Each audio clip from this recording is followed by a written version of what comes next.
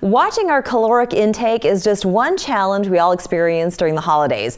Reducing our stress intake is another. Well, here to help us prepare for holiday gatherings and learn how to manage our sanity and find our center is life coach Ryan Haddon. It's good to have you. Oh, great. Thank you so much for having me. As a life coach, do you ever get stressed out? Of course.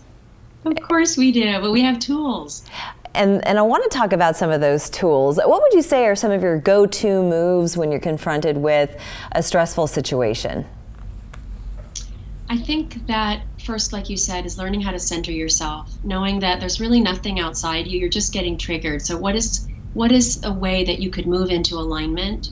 And some people do that through breath work, very simple breath work techniques. Some people do it through meditation. Some people do it through taking a walk in nature. It's knowing what tools to pull out of the toolbox that you might need. And we're talking about the holidays here. So there's some specific ways to not walk in and, you know, know how to practice self care when you walk into your family. If there's traditionally triggering conversations or people that really get under your skin, which can happen because that's what happens in families. So it's really moving into acceptance that it's going to happen most likely. And what are ways that you can take care of yourself? And I want to also ask you yes, taking a walk is a great idea, but when you are confronted with situations, and let's say there isn't an escape exit that's too convenient, if you end up locking horns or someone wants to lock horns with you and you try to resist, what are some of the things that one should do to, to resist the urge to get engaged? I think having little mantras that you can go to like I'd rather be happy than right is a good one. And then outwardly, you can say something like, let's agree to disagree, even if inside you feel like that contraction around that moment.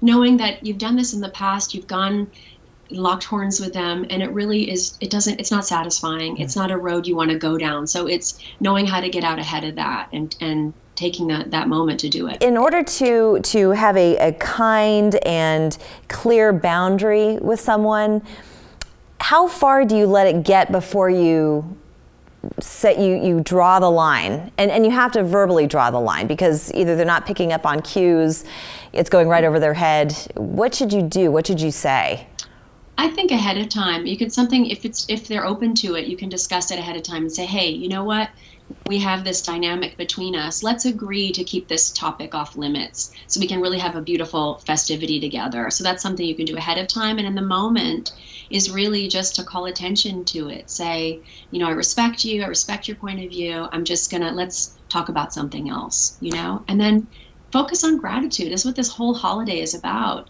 It's really highlighting the good. So maybe change the subject and ask people what are you most grateful for yeah. this year? It's those kinds of tools that we're talking about like that are very practical or it's doing a couple of counting breaths where you can count count in for eight and exhale for four. You know I mean, you just it's figuring out ways that you can on the ground in the trenches show up for yourself. And it sounds like you're not teaching avoidance. So if you know that there's going to be certain people there that maybe you just don't get along with, the the idea is not to avoid it altogether, but to go ahead, dive in, but to make sure that you're at least the sane one in the room. Right, and also you want to have the intention that it's a, a, wonderful gathering of friends. It might not. That's not the right place. It's not the right venue yeah. to you know have lines in the sand necessarily. Right. So I think it's just a good idea to have that intention, have that as a value for yourself in that day, and then try to dance around it. It doesn't mean you're avoidant. It doesn't mean you don't want to handle or deal with things that are tricky, but it's just a way to laser in on what this celebration is about. It's about togetherness. It's about meeting on common ground. Perfect. And that's a great way to end this. Ryan, I want to thank you so much for joining us today. Thank you. Thank you for having me. Happy holidays. You too. We're back yeah. after this.